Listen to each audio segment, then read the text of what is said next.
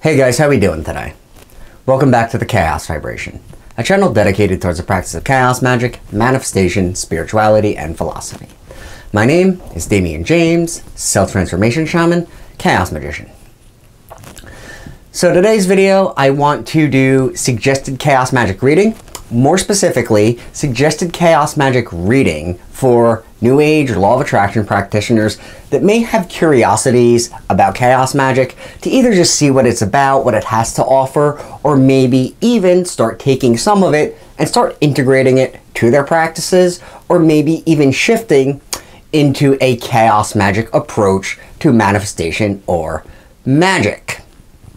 The other reason I want to do this now is because there is an Amazon book sale the 13th and 14th of October, I've been told. No, I am not an affiliate marketer, but I do believe in people expanding with everything going on in the world and doing so in a financially conscious manner with all the pandemic nonsense and let's just leave that at that.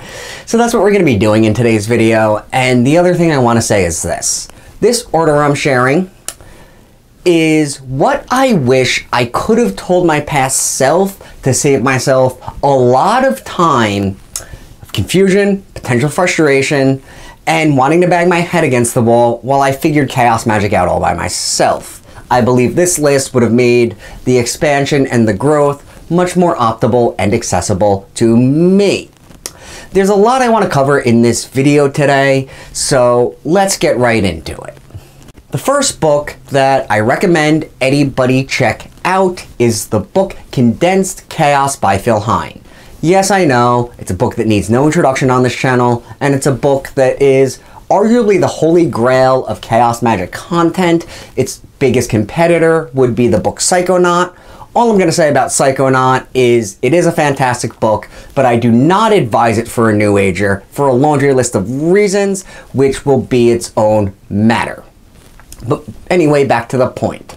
Here is why I recommend Condensed Chaos first. It is all about the revelation and the, let's just say, personality shift or perception shift that will naturally occur when one checks this, checks this book out. People that are veterans of this channel, thank you by the way, may have remembered earlier on when I came to the self-revelation that the modern law of attraction is essentially a chaos magic practice. If not that, they certainly have a brother sister kind of cousin relationship here.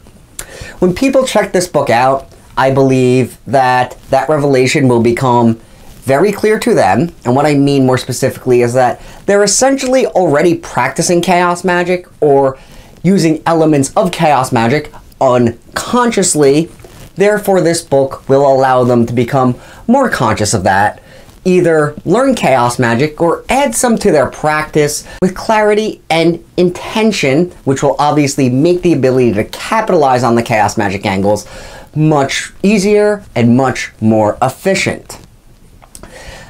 Now, beyond that, this book has a lot of features that I like. The first thing is this book is a great way to see everything Chaos Magic potentially has to offer. Sigil Magic, Servitor Creation, Invocation. There are paths he shows you to learn traditional occult and esoteric theory, which is certainly advantageous. But if you are also into stuff like the Modern Mythos Magic mini-series on this channel, you will see where I got a lot of inspiration for those ideas and you can do the same. Magic can be about daggers and robes and chaos magic. It can just as easily be cast, this is from Phil Hine, not me, using silly putty, using art, writing along those lines, and that's also a good idea to get a feel for how the secret may have come up with ideas like the vision board, using affirmations, so on and so forth. You could suggest Phil Hine and Chaos Magician may have actually anticipated the 21st century New Age movement.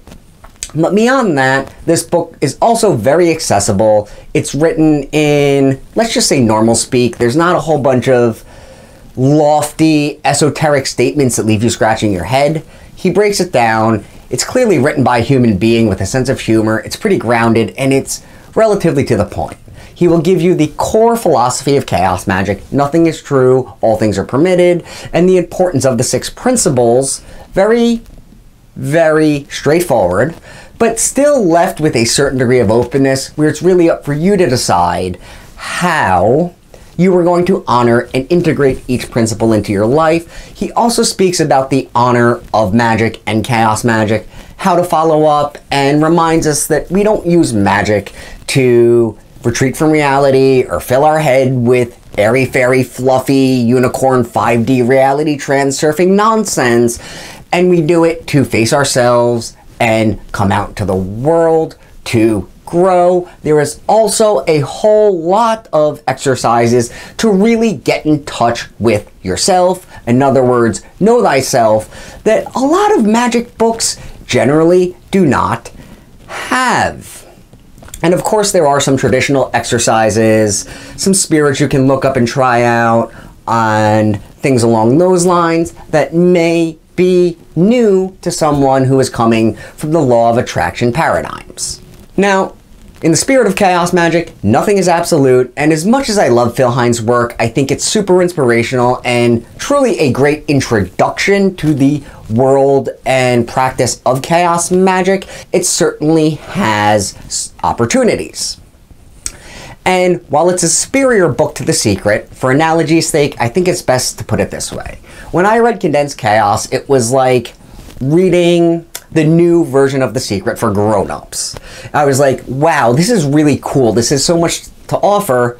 And magic's pretty much up for me to decide how it works. Okay. Then three weeks go by and you're like, okay, well, I'm clearly not just making things up. How the hell does this work? Can I reverse engineer some of his ideas? Is there some kind of workbook that I can use to help me get a feel for things and learn how to break things down?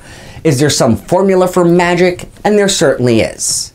And the book that I recommend people check out to augment Phil Hine's work, ground it, make it practical and pragmatic, is the book The Master Works of Chaos Magic by Adam Blackthorne from the publishing company, The Gallery of Magic, and this book may not be very well known. So here's what I want to say about this book. First off, if you get it, it's very easy to take their work or any Gallery of Magic work for granted based on the size. This book's only about 95 pages. However, here's why, why that is so special. The book wastes no time on theory, principles, or any of that. And it really is a manifestation of another angle of chaos magic. Cut the bullshit. Yes, you could say this book is the cut the bullshit book to the practice of magic that was all about cutting the bullshit. It's very direct. It's simply is great for people that want to try more magic and have all kind of emotional or intellectual hangups, it's the best book to get you off your ass and accepting that the only way to get a result or learn magic or figure any of this out is by doing it. This book is great for people that want to do things like maybe make a servitor, or as Adam Blackthorne is going to call the thought form, and would like a step-by-step -step process to know what needs to be done, but it still is left in a way where he's not going to tell you exactly what to do or what to think. It is really up for you to decide how you're going to fill in those steps with practices and techniques you already know that resonate strictly with you. There's also some even more simplistic, straightforward ways to make a sigil with auto writing. There are ways you can create magical effigies that are very accessible. And he impresses you don't need a lot of herbs or crystals. How to carry out simple candle magic. There is introduction to gesture magic in there. And some of the things i love are there some chapters on how to take magic out of your room or your office or away from your altar and into the real world. I'm talking about how to make a sigil, put it on a document to try and change somebody's mind, how to make yourself more attractive on the spot, things along those lines with relative ease and he impresses it's all about intention and emotion not vibration not how many times you've read the Kybalion and i'm not saying we shouldn't do these things but that is not what magic or chaos magic is about. Now at this point, you have seen the whole world of chaos magic through Phil Hine's amazing inspirational work. Adam Blackthorne has grounded this work. He's made it practical. We have some step-by-step exercises, some workbook approaches to try out the different, let's say, techniques within a chaos magic quote-unquote system. However, one thing that chaos magic impresses, and you're going to learn about in Condensed Chaos, is the value of diverse approaches, which means not getting emotionally, or in any sense of the word, hung up on certain systems or techniques being better than others, and being open to new ways magic or spiritual work could manifest itself. The book I recommend for this is Hands on Chaos Magic by Andrieh Vitimus.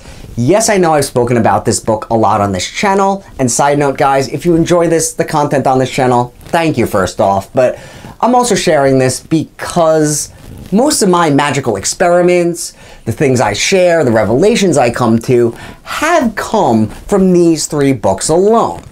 But let's get back to the point. Hands-on chaos magic, I don't really know any other way to say it would be, it's just a great tool book for a chaos magician. Allow me to elaborate. This book is essentially a book of techniques and exercises one can try out, as well as more ritual frameworks. So for example, if you're looking for a deconditioning tool, there is a section on the book on just deconditioning. There's a section on the book of just sigil creation, different ways to go about that. There are passages and sections about several different ways to activate a sigil. Yes, believe it or not, there are more things you could do than just mash letters together, make a scribble scrabbly looking thing, and just put it bluntly, jerk off to it. I guess that's part of the journey, but I found it got old pretty friggin' fast. But if you feel like you're in that spot, Hands on Chaos Magic is certainly a great book for you. Other good things about this book is there's also technical exercises and techniques you can try out that actually branch out into other systems or modalities of magic. For example, if you are into energy manipulation, there are sections and exercises upon exercises of energy ball manipulation games, how to work with that focus, how to work with that angle of the practice. If you are into solely sigil magic, he'll not only show you once again different ways to make sigils or enchant them, but also different ways you can use sigils. You can use them to scry, you can use them for invocation, evocation, things along those lines. People that are into evocation or invocation path workings, there's also sections and exercises for that. Because chaos magic is so finding what works for you, it is a blessing and a curse, but I find that this book is a great ground and a place to return to so you don't feel like you're just making things up blindly and you should have a good feel at this point of what techniques will and will not resonate with you off the bat, which takes care of this book's one opportunity. Its massive sheer length by itself.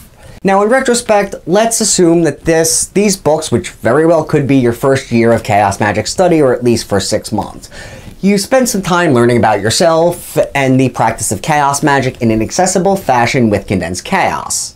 You then learned how to break it down, make it very direct and accessible with Adam Blackthorne's Master Chaos Magic book, and then you had Andrieh Vitimus's book to essentially find the techniques and the exercises that work for you, and by now you should have a good feel on how to build your own rituals, or for some of you even, I believe, your own authentic manifestation or magic systems for solely you, or maybe to share with the world and bring more expansion to everything going on. That's ultimately your choice, but this is what Chaos Magic has to offer.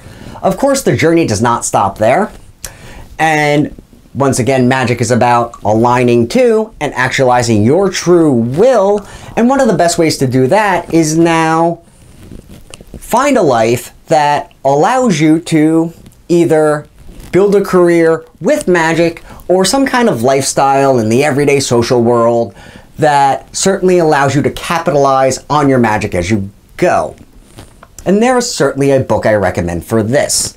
the fourth book and the final book on this list, probably for your first year of Chaos Magic, is Chaos Protocols by Gordon White. And some people give this book a bad rap because of a lot of page space spent on socio-economic information. And I know a lot of people just want to hear more woo-woo stuff, but really going to focus more on the importance of how to build a strong social foundation for yourself and those that are dear to you, whether it be family, friends, a business, a career, or that special soulmate you manifested with the other guys, and how to go about that. Things like networking are perfectly interwoven with techniques like sigil shoaling, which long and short is how to make a sigil magic system and get the whole thing to work by making a single sigil that produces one result, therefore it now works for all of them. I suppose a new thought analogy would be that this book is essentially the Think and Grow Rich of Chaos Magician. For people that are wondering what woo-woo stuff it has to offer, it does have its own grimoire at the end, its own set of exercises, and a a whole lot about navigating your own self-initiation process. That was one of the features of the book that resonated with me. What to consider, what not to consider, what to do on your own, when to seek counsel or advice from an experienced practitioner, and how to go about that. But all in all, now that we've learned about chaos magic once again and leveled up as a chaos magician. We obviously didn't learn this to sit in our room and play Merlin with tarot cards, did we? We learned about this to become the best version of ourselves and actualize it in physical form and the outer world. And this book is certainly the most favorable for doing that. In conclusion, all I'm going to say is once again, I think this could be your first year of practice and study, and I want people to know that I still come back to these books. A lot of things Phil Hines say will seem cool but very foreign, and you can work through these a couple times, come to new revelations, try new things, and always stay dynamic with your craft. One of the meanings of chaos is not anarchy or destruction, but that nothingness, that nothing is true, all things are permitted, allows for raw, unapologetic, authentic creative expression of both the magical self and your true self. But that does conclude this video. The only other thing I want to say is if you have requests on other Chaos Magic book reviews, please drop a comment below. I may be adding these to this channel at some point in time. If not, I wish you guys the best of luck with the book sales should you capitalize on it or with the holidays coming, and most importantly, with your study, your expansion, and your achievements. I'm off. I'll see you guys in the next couple of weeks. Eudaimonia.